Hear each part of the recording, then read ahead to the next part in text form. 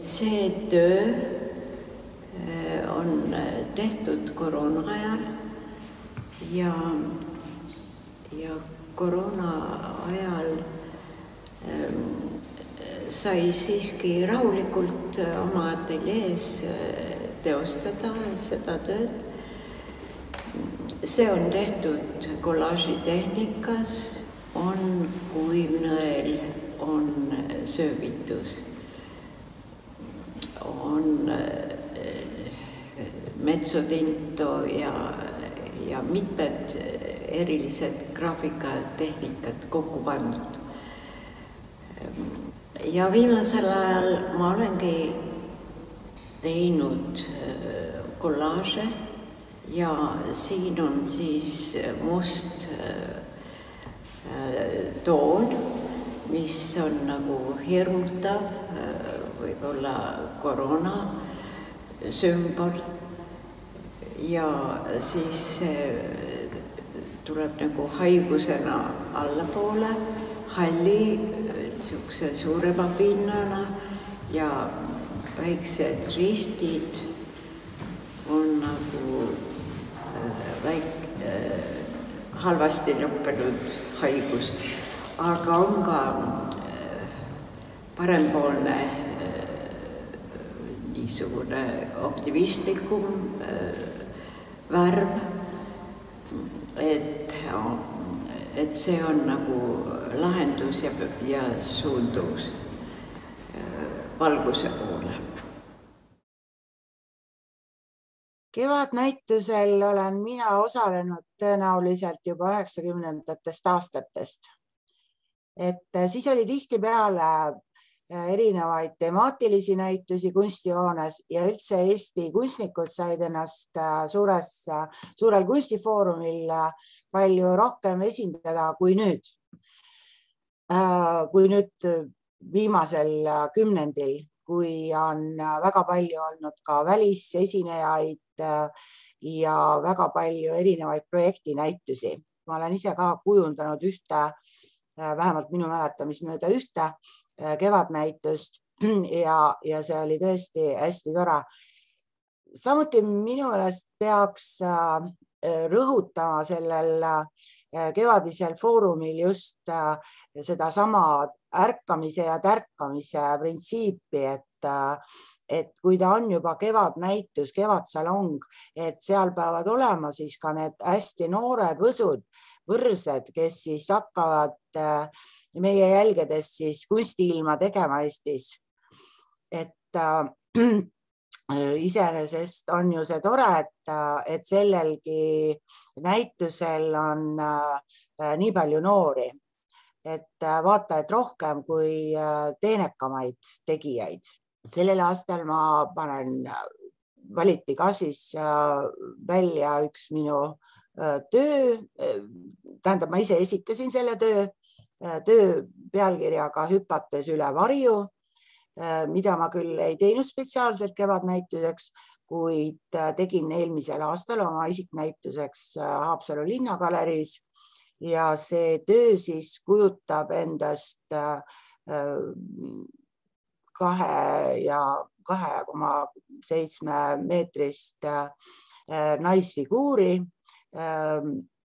kes on siis äh, pakitud äh, sisse linasesse kangasse justkui muumia ja kellel on äh, äh, küljes purilennuki tiivaotsad, mis on siis ähm, ja, ja kellel on kaks nägu skulptuuri äh, modelleerimispukki on kasutatud siis ühe töö osana selle töö jalgadena, mis on siis ka tähenduslik äh, teatud mõttes skulptoritele. Ja, ja nendest lennukitiibadest, mida ma mainisin, siis see on purilennukitiibade otsad, äh, mis on pärit minu ühest ruumi installatsioonist, kus purilennuk oli jäi suureks äh, kunstihoone galeriile ja mul tuli otsad äh, purilennuki tiibadelt maha lõigata.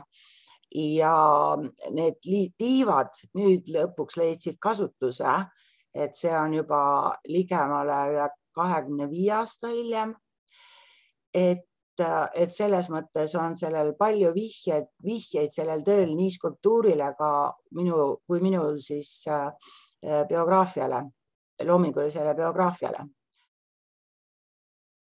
mina mäletan äh, neid kevadnäitusi umbes ähm, üheksakümnendate aastate algupoolelt, äh, kus ma ka tudengina võib-olla esimesed korrad proovisin osaleda ja on eriti meelde jäänud need paar korda, kus ei õnnestunud saada valituks, et konkursi sõel oli selline üsna tihe, et kõik kunstnikud tõid oma tööd, panid seina äärde maha ja siis seal liikus ringi siis niisugune komisjon nagu meenutas nagu sellist hindamist, kui on kunstiakadeemiast tuttavad äh, inimestele. Oma põlvkondlikust kuuluvusest lähtuvalt, et muidugi mulle meeldib, et see traditsioon kestab, minu pärast ta võiks olla ka lausa suuremamahuline ja oma sisult veelgi traditsioonilisem.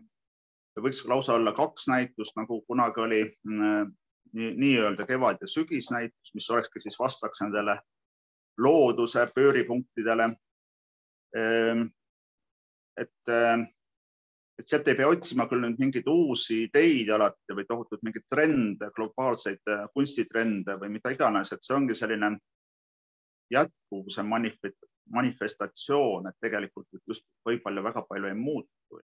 minu äh, selle aasta töö kevadnäitusel kannab nime Zebra ja silmapiir ja ta on, koosneb vanadest videolintidest VHS formaat oli umbes nelikümmend aastat, pidas maailmas vastu. on ka väga palju niisugust isiklikku mälestust seoses selle formaadiga ja üldse, kuidas tehnoloogilised muutused äh, inimese eluajal äh, aset leiavad, et see on üks kõige suuremaid selliseid äh, kultuurifenomene tegelikult, mis on nagu selgelt silmaga jälgitav, et seal on tegelikult ripub üheksakümmend meetrit audiovisuaalset materjali tegelikult, mida inimsilm ei ole suuteline siis eristama ilma abivahenditeta. Kuna see on ülevaatenäitus ja äh, selline näitus, kus, kus võib-olla käib väga palju rahvast, aga võib-olla nad käivad natuke kiiremini sealt läbi ja et need tööd peavad omavahel kuidagi niimoodi kokku sobima, et, et nad äh, oleksid võib-olla kuidagi üsna kiirelt hoomatavad, siis äh, ma ei ole nagu söandanud äh, kandideerida, sest mul on jäänud äh, tunne, et äh, mul ei ole olnud jah, selle formaadile nagu vastavat tööd aga sellel aastal mulle tundus, et mul just oli päris mitu sellist tööd, mida sinna pakkuda. ja, ja siis äh, valituks äh, osutuski minu töö ühest suuremast installatsioonist tegelikult, see on üks fragment installatsioonist nimega komposiitolendid, kohanemise strateegiad ja see fragment ise on pats. See töö kujutab endast siis sellist pikka punutud patsi, mis koosneb kas tekstiilijääkidest või kasutatud riietest, mis on loomamustriga.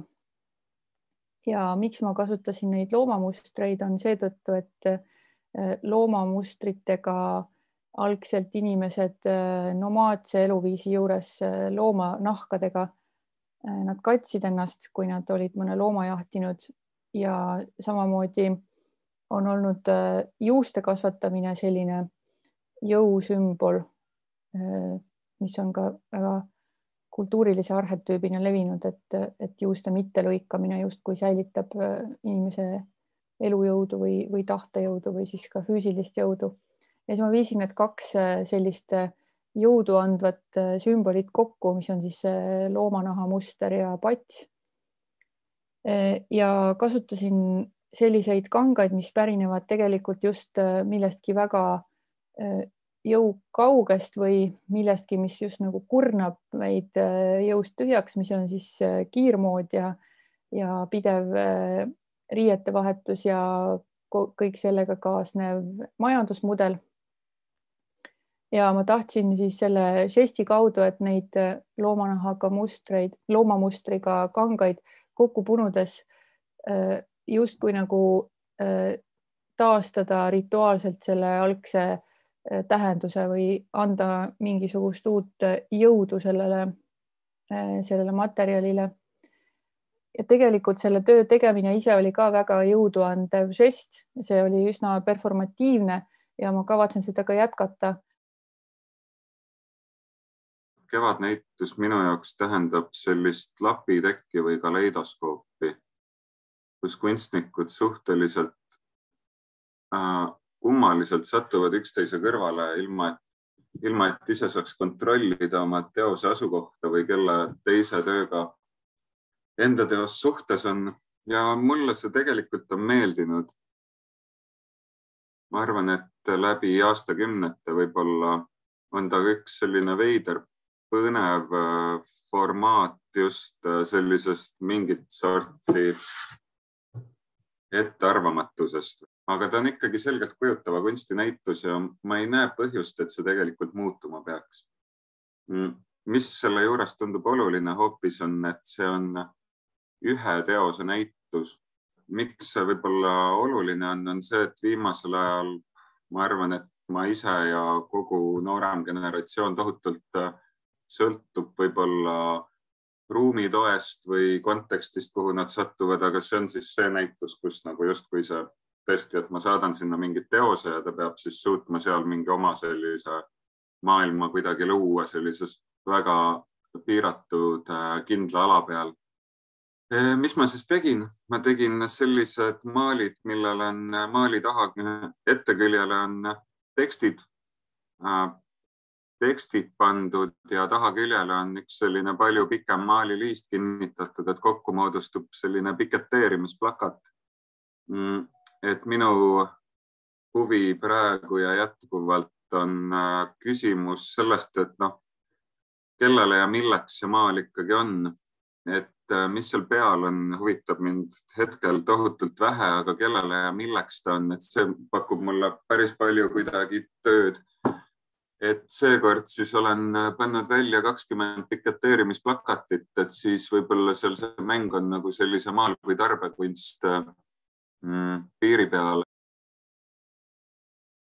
kevadnäitus on mulle selline mm, iga aasta traditsioon, millest on, see on päris stressivaba näitus, et ähm, ma olen peaaegu iga aasta osalenud ja lihtsalt tore on näidata iga aasta, mis kõik teised kunstnikud on teinud.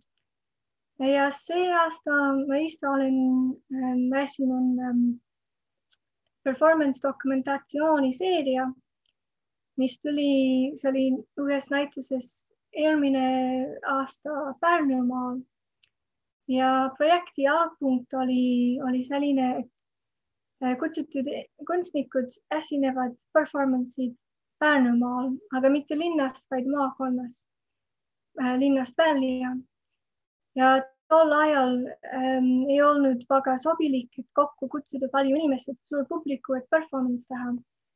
ja ma mõtlesin, et noh, kuidas siis teha ja mul oli sel ajal ka väga palju olin looduses ja taimedega metsas ja tundsin väga seotud loomadega ja taimedega mõtlesin, et neid iga aasta tundub nagu neid esinevad meile. Ja las neid ole siis minu publik. siis ma sõitsin rattaga Pärnumaale umbes mingi viissada, kuussada kilomeetrit ringi tegin.